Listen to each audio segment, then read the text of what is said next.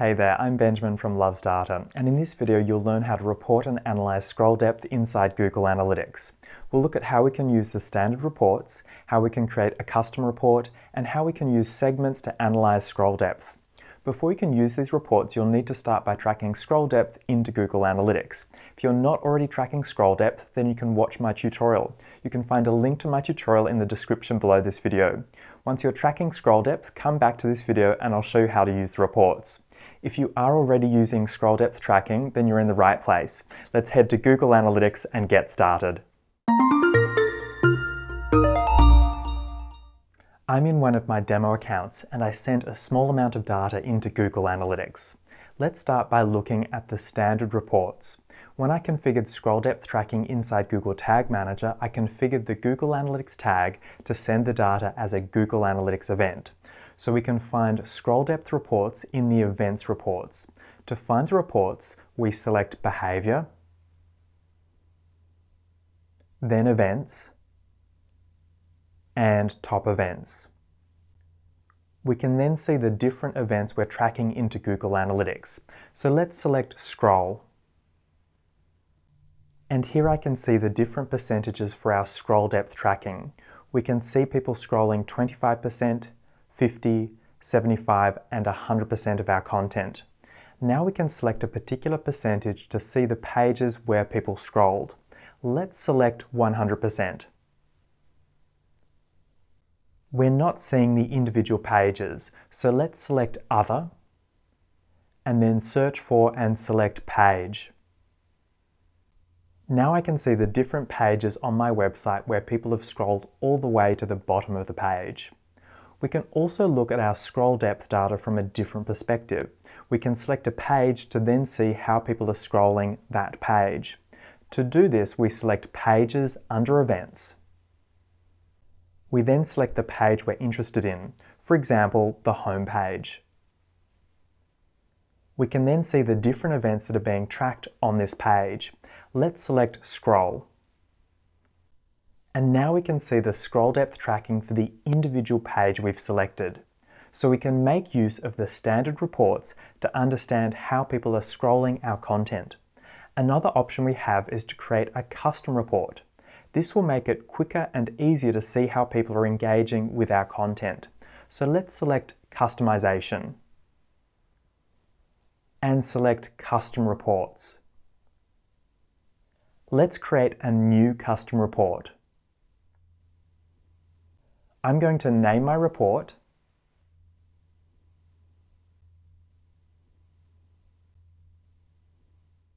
and I'm going to create three tabs in the report. I want to see scroll depth by pages, scroll depth by percentages, and then a combination of both. For the first tab, I'm going to name it Pages. And I'm going to add the metric. Since we're using events for scroll depth tracking, I'm going to select unique events as the metric. So this will only count someone scrolling a page once, even if they scroll up and down the page multiple times. Next, I need to select my dimensions. I'm going to select Page. And then I'm going to select Event Action as the drill down. As we saw in the standard reports, we were tracking different types of events into Google Analytics, so we'll need to add a filter so that we're only including scroll depth in our custom report. So let's add a filter.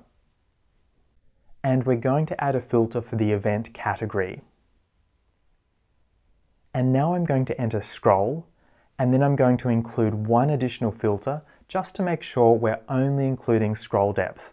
I'm going to add event action, matches, regular expression, and I'm going to add a regular expression which will only include 25, 50, 75, and 100 for our scroll depth tracking. Okay, now I'm going to duplicate this tab and I'm going to call this new tab percentages. Then I'm going to switch the dimensions, so I'm going to move event action above page. So this will show me my percentages and I can then drill down to see the pages. Finally, I'm going to add one more tab which will combine pages and percentages. I'm going to select Flat Table and I'm going to add in two dimensions, page and event action.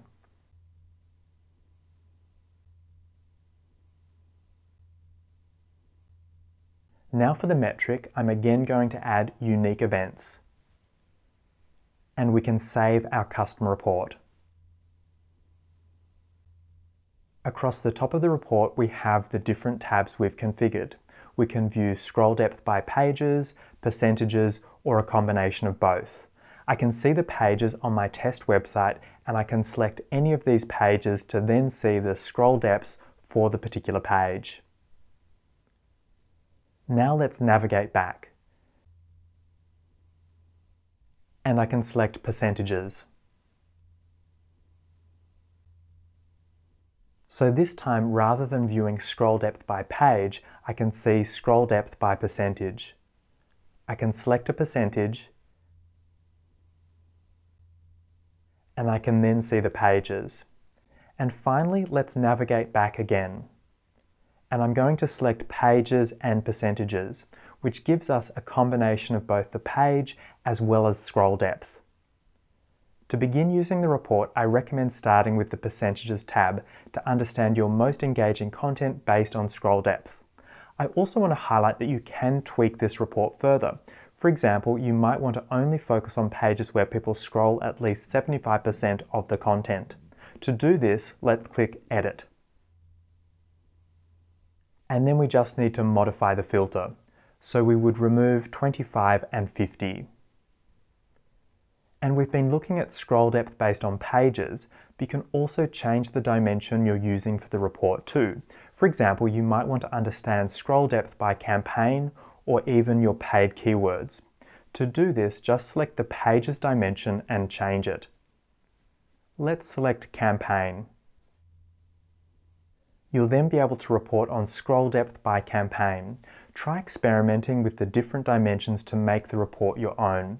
And don't forget to rename the tabs and the report to reflect the changes you've made.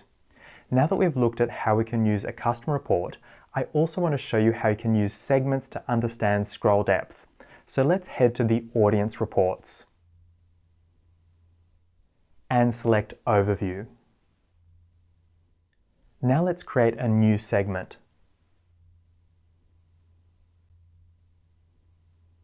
I'm going to select Conditions and search for and select Event Action. Now we can set the minimum scroll depth we want to analyze. Let's enter 50.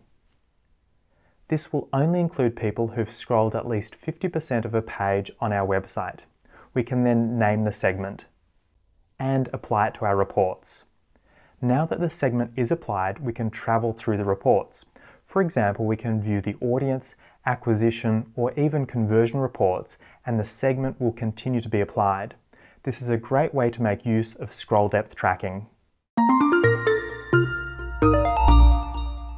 So that's how you can analyze the performance of scroll depth inside Google Analytics. Remember you can use the events reports under behavior, you can create custom reports, and you can even create your own segments to analyze performance. You can add my custom report template to your own account and customize it further.